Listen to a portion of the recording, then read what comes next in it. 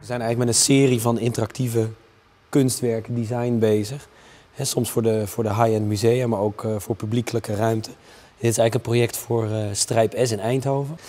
En het gaat soort bestaan uit duizenden korrels die eigenlijk gaan oplichten uh, als je er overheen loopt. En, dus we maken eindeloze vormstudies. Daar komt, dat wordt helemaal gevuld met licht straks. Dat wordt echt, echt vloeibaar licht. Ja. Hier zijn we bezig voor een plein in Almere zie je, zie je eigenlijk een uh, microchip, verschillende sensoren, geluid, beweging. Um, en daar sturen we eigenlijk uh, de kunstwerken mee aan. En dat, dat, dat, uiteindelijk dat komt allemaal samen om een soort, uh, soort poëzie, hè? om een soort interactie uit te lokken. Ja.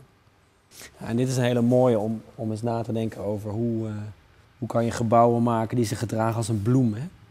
En dat die technologie zit eigenlijk meer in het materiaal dan dat het er extern aan zit. Dus een hele, hele andere manier van nadenken. gebouw als een soort, als, met een soort skin. Dus de zon komt erop. En weer uit. Het allerleukste is eigenlijk om andere mensen erover te horen praten en hun misinterpretaties. Dat het op hun aura reageert of bijvoorbeeld of dat soort dingen. Wat, wat eigenlijk nog een veel beter idee is dan ik zou kunnen verzinnen. Dus het is mooi hoe, uh, hoe die kunstwerken een soort eigen leven gaan leiden. Hè, op het moment dat je ze in die uh, openbare ruimte of in die musea zet.